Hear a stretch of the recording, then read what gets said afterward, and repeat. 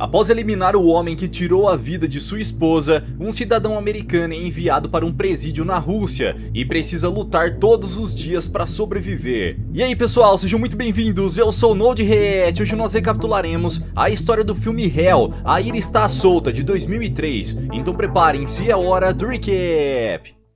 Kyle e Gray são um casal americano que está passando alguns meses na Rússia por conta do trabalho de Kyle. Gray reclama que seu marido está sempre trabalhando e nunca tem tempo para ela, mas o homem pede que sua esposa tenha paciência, pois logo eles retornarão para sua casa em Louisiana, nos Estados Unidos. No meio da noite, a mulher recebe uma ligação de Kyle e descobre que seu marido já está chegando em casa. Por telefone, ela pede desculpas pela forma como falou com ele naquele dia e de repente as luzes se apagam. Gray consegue religar a energia e Kyle liga para ela novamente. Nesse instante, um homem invade sua casa e ataca a mulher. Ao ouvir os gritos de sua esposa pelo telefone, Kyle se desespera e acelera o carro, sem nem se importar de sofrer um acidente no caminho. Ele escuta sua esposa lutando para se defender e liga rapidamente para a polícia. Durante um embate com Kovic, a mulher acaba tendo seu pescoço perfurado e não consegue sobreviver. Em poucos minutos, Kyle aparece e ao entrar em casa, encontra sua esposa já sem vida no sofá. Nessa hora, o criminoso que invadiu a casa se aproxima por trás dele e o ataca. Em seguida, Kovic foge e Kyle vai atrás dele. O rapaz entra num trem onde avista o um maldito criminoso e ambos iniciam um combate. Durante a luta, os dois homens pulam para fora do veículo e Kyle consegue pegar o criminoso. Até o momento em que é arremessado no meio da rua e uma moto passa por cima de seu corpo. Nesse instante, a polícia aparece e Kyle vê seu pior inimigo fugir enquanto ele é algemado.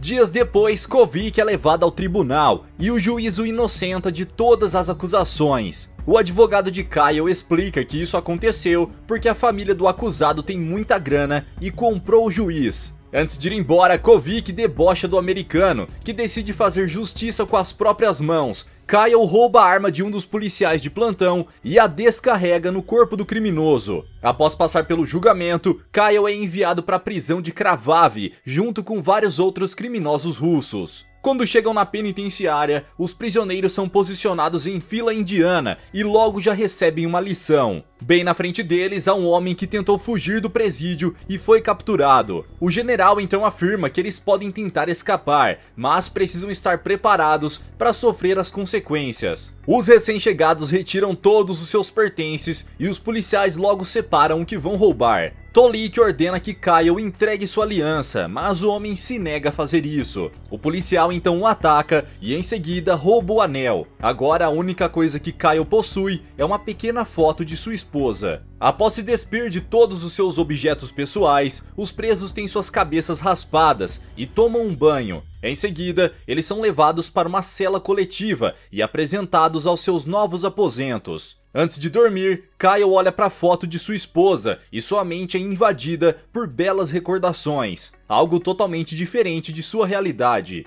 No meio da noite, Billy Cooper é arrastado para fora de sua cela e preso em outra sala juntamente a Andrei, onde vive a maior violência que já sofreu em sua vida. Na manhã seguinte, os presos são levados para o pátio e Kyle avista o jovem Billy completamente ferido. Em seguida, ele vê Andrei debochando da situação e se lembra da atitude de Kovic após ser inocentado pelo tribunal. Nesse instante, o americano é tomado por uma grande fúria e ataca o demente. O duelo só chega ao fim quando Tolik decide interferir e Kyle é levado para solitária. Chegando lá, ele se depara com um esgoto escorrendo pelo chão e percebe que aquela será sua casa pelos próximos dias. Diante daquele fedor intenso, o homem não consegue se alimentar e sua comida é devorada por formigas. Cada dia que passa, suas esperanças de voltar para casa diminuem e por fim, ele opta por acabar com a própria vida. Porém, ao tentar cumprir seu objetivo com retalhos de seu uniforme, o tecido se rompe e ele não consegue concluir o seu plano. Mesmo assim, Kyle não desiste e bate sua cabeça contra a parede de pedra, mas apesar de perder muito sangue, ele continua vivo. De repente, uma mariposa invade o local e ao ver o inseto, sua mente é levada para o dia em que uma mariposa entrou em sua casa. Quando se lembra de Gray, o homem recupera suas forças e decide continuar lutando. Ele percebe que há outro prisioneiro encarcerado na cela ao lado e se apavora ao ouvir os gritos daquele homem. Na tentativa de acalmá-lo, Kyle dá alguns socos na parede, como se dissesse ao desconhecido que ele não está sozinho. Após vários dias sem comer, o americano está totalmente enfraquecido e mal consegue ficar de pé. Porém, quando a mariposa pousa em seu prato, ele decide se alimentar e lutar por sua vida. Ao sair da solitária, Kyle é levado para uma nova cela e Tolik o aconselha a ter cuidado, pois o detento 451 eliminou seus três últimos colegas de cela. Naquela noite, nenhum dos dois presidiários diz uma única palavra e o detento age como se Kyle não existisse, o que deixa o americano ainda mais desconfiado. Após um longo dia de trabalho, os presos fazem uma breve pausa para o almoço e Kyle se deita na grama por alguns minutos para descansar. Logo em seguida, um dos militares o acorda para retornar ao trabalho e seu grupo só volta para a penitenciária no fim do dia.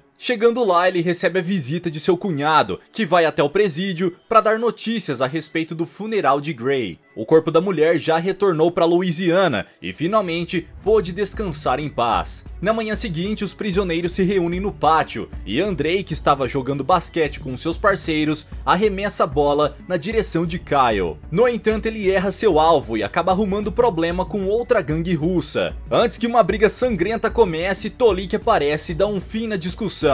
No canto do pátio, Kyle vai falar com Billy e pergunta o motivo do jovem ter sido preso. O rapaz então explica que estava viajando e conheceu uma garota. Certa noite eles estavam bebendo e ela bateu o carro, causando a destruição de um restaurante. Apesar de não estar no volante, Billy foi condenado a cumprir 18 meses de prisão. Nessa hora, Malakai aparece e conta que viu o caso de Kyle no jornal. Em seguida, parabeniza o homem dizendo que Kovic mereceu ser eliminado. O americano percebe que Malakai está há muito tempo na prisão e aproveita para conseguir algumas informações. Kyle descobre que Andrei pertence à máfia russa e suborna os guardas para conseguir o que quiserem naquela prisão. Naquela noite, Kyle tem pesadelos com o dia em que sua mulher foi eliminada e começa a gritar. De repente, o detento 451 usa suas mãos para sufocá-lo e ele começa a se debater na cama. Quando seu colega de cela estava quase sem ar, o presidiário o solta e Kyle se levanta assustado. Então o prisioneiro ordena que ele fique em silêncio. No café da manhã, o americano é surpreendido pela chegada de Andrei, que após cuspir em seu prato, ameaça Billy. O rapaz tenta reagir, mas é impedido por Marco. Mais tarde, no pátio, uma luta está agendada para acontecer entre Andrei e outro detento. Tanto os prisioneiros quanto o próprio general apostam em quem eles acreditam que será o vencedor. O duelo se inicia e Andrei logo derruba seu adversário. Após uma sequência de golpes violentos, o mafioso dá uma joelhada em seu oponente e o faz perder a consciência por alguns segundos. A essa altura, a luta já está ganha, mas Andrei continua atacando o cara sem nenhuma piedade. O combate só termina quando o general dá ordem para que Tolik pare a luta. Os detentos são levados para mais um dia de trabalho no campo, e Zarik, sem nenhum motivo aparente, inicia uma briga com Kyle. Os dois homens se enfrentam enquanto os guardas apenas observam, sem fazer absolutamente nada. Kyle tenta fugir da luta, mas os parceiros de Zarik o empurram de volta. Em seguida, ele é derrubado no chão e os covardes se unem para pisoteá-lo. Após levar uma baita surra, o americano é levado de volta para a penitenciária e acaba indo para a solitária mais uma vez. Sempre que está lá, ele bate na parede na tentativa de se comunicar com o cara da cela ao lado e escuta o desconhecido urrar de forma assustadora. Dessa vez, Kyle fica naquele lugar por vários dias e a única coisa que o conforta são as doces memórias dos bons momentos que viveu ao lado de Gray. Quando finalmente é retirado daquela vala, ele avista um banquete sendo levado para um prisioneiro da cela ao lado e se pergunta quem é aquele cara. Ao retornar para o pátio, seus colegas mal conseguem reconhecê-lo, pois o homem está barbudo e com um semblante completamente apático. No refeitório durante o almoço, Kyle recebe mais uma ameaça de Andrei, mas dessa vez decide revidar. Ele então se levanta e caminha até o seu inimigo. Apesar do medo, Kyle acerta um soco nele e os dois começam a lutar. O americano estava em vantagem até que os parceiros de Andrei se unem para atacá-lo. A briga chega ao fim quando os guardas aparecem e Tolik leva Kyle novamente para a solitária, que já se tornou sua cela oficial. Sozinho naquele buraco escuro, Kyle tem muito tempo livre e aproveita para fortalecer o seu corpo e sua mente. Os demais detentos estão trabalhando no campo, quando um dos carros da polícia causa uma grande explosão ao passar por uma mina. Billy então aproveita essa distração para fugir e Marco o acompanha. A dupla é flagrada e os guardas começam a atirar, mas somente Marco é baleado e acaba morrendo. O rapaz continua fugindo e atravessa um lago repleto de lama na tentativa de passar despercebido. Porém, não demora muito até que os militares consigam encontrá-lo e Billy é capturado. Quando retorna para o presídio, o jovem é colocado novamente em uma cela com Andrei e sofre com terríveis ataques. Ao sair da solitária, Kyle continua trabalhando para aumentar sua força e habilidade de luta. Seu colega de cela escreve em seu diário enquanto o vê treinando durante dia e noite. Os policiais o observam no pátio e ao perceber sua evolução, Tolik planeja mandá-lo para uma luta. Seu primeiro duelo será contra Andrei, seu maior inimigo naquela penitenciária. Quando a luta se inicia, o americano é derrubado diversas vezes por seu adversário e todos acreditam que ele será eliminado em batalha. Kyle leva diversos golpes na cabeça e está prestes a perder a consciência quando Andrei puxa suas pernas e o arrasta até que ele se choque contra uma pilastra. O duelo já estava praticamente vencido, no entanto, a fúria de Kyle o faz reagir e com um chute ele consegue derrubar seu adversário. Em seguida, o americano pula em cima do corpo de Andrei e morde seu pescoço com toda sua força. Os militares se reúnem para separar os dois, mas é tarde demais pois Andrei perde muito sangue e acaba morrendo, causando a alegria de muitos detentos. Depois disso, Kyle não sai mais dos ringues e se torna um dos melhores lutadores de todo o presídio, o que deixa os militares muito felizes porque eles ganham bastante dinheiro com suas apostas. Em sua luta contra Zarik, Kyle não leva um único golpe e facilmente consegue derrotar seu oponente. Após levar um mata-leão, o homem desiste e Kyle se levanta. Porém, Tolik ordena que ele finalize a luta e o americano é obrigado a chutar a cabeça de Zarik para deixá-lo inconsciente. O detento 451 observa tudo de longe e sente pena de seu parceiro de cela, pois ele se submeteu a jogar o jogo sujo que impera naquele lugar. Naquela noite, Kyle repensa seus atos e decide que não irá mais lutar. Após cortar o cabelo e raspar sua barba, ele se dirige para sua cela e na manhã seguinte, Paul vai visitá-lo novamente. O homem afirma que está fazendo de tudo para tirar seu cunhado da cadeia. No entanto, Kyle afirma que não quer mais ter esperanças e pede que Paul o esqueça.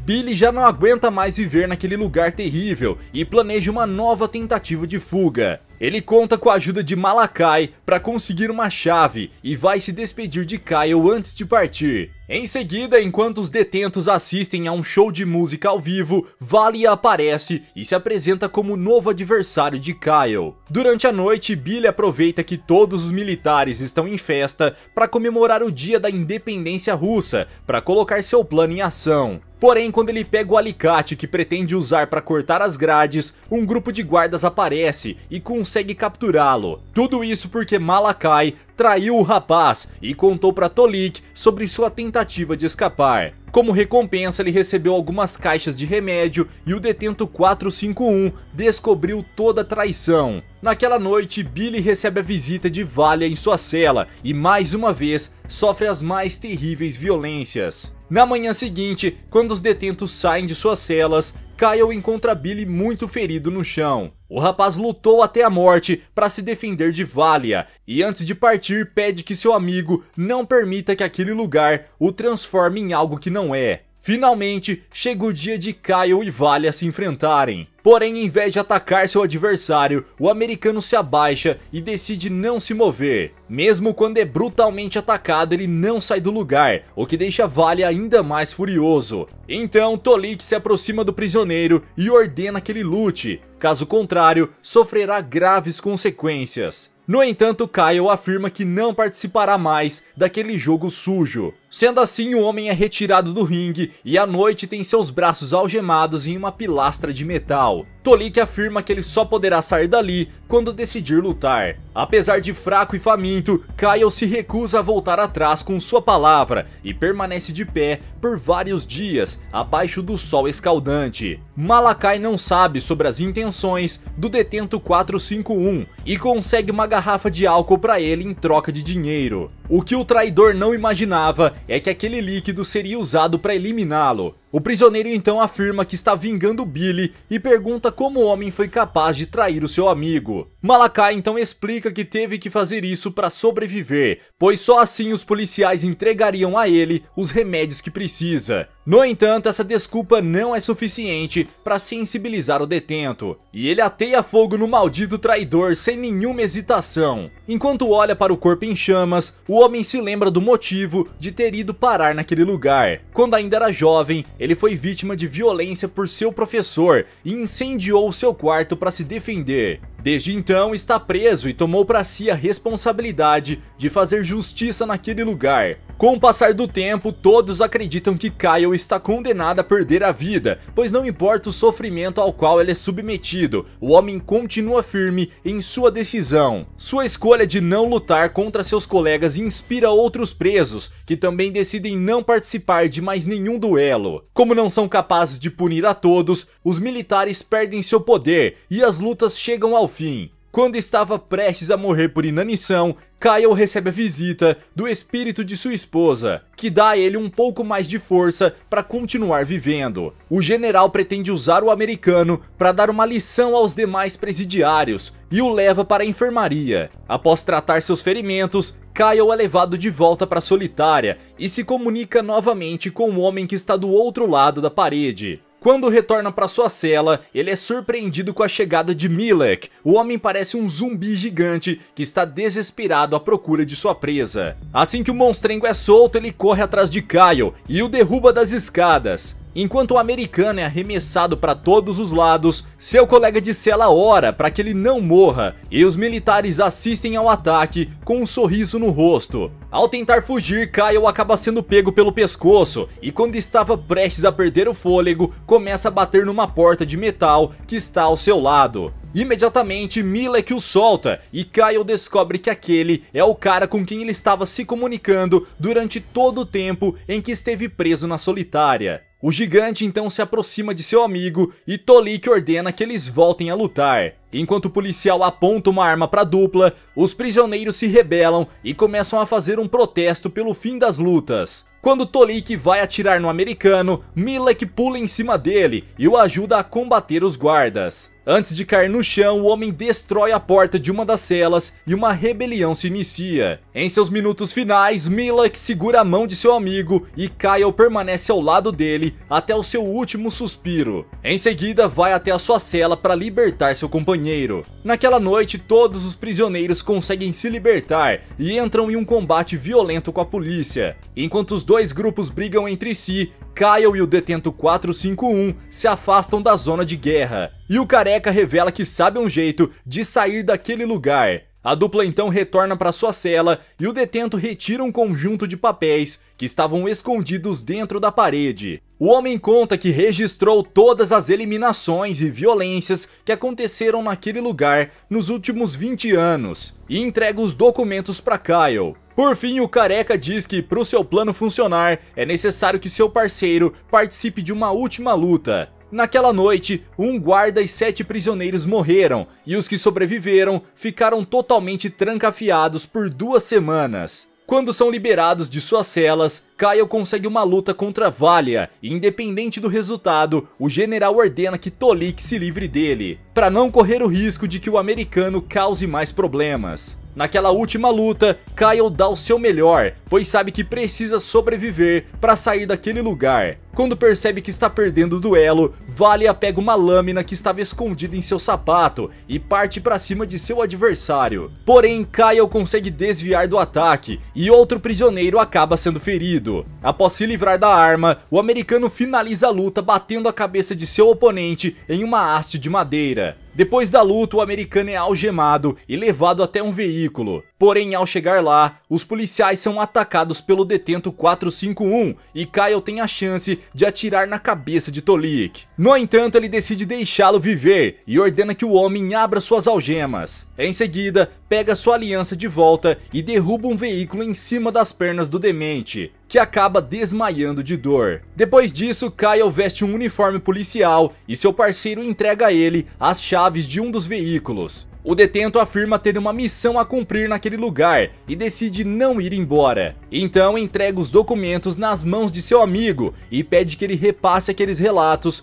para as autoridades. Enquanto Kyle tenta atravessar os portões sem ser descoberto, o prisioneiro vai até a sala do general para acertar contas com ele. Após deixar aquele lugar infernal, Kyle cumpre a promessa que fez ao seu amigo e três meses após a sua partida, a prisão de Kravave é fechada. É galera, será que Kyle finalmente conseguirá voltar para o seu país? Ou os russos ainda darão um jeito de prendê-lo novamente? Deixe aqui embaixo nos comentários. Vejo vocês no próximo recap aqui do canal. Até lá!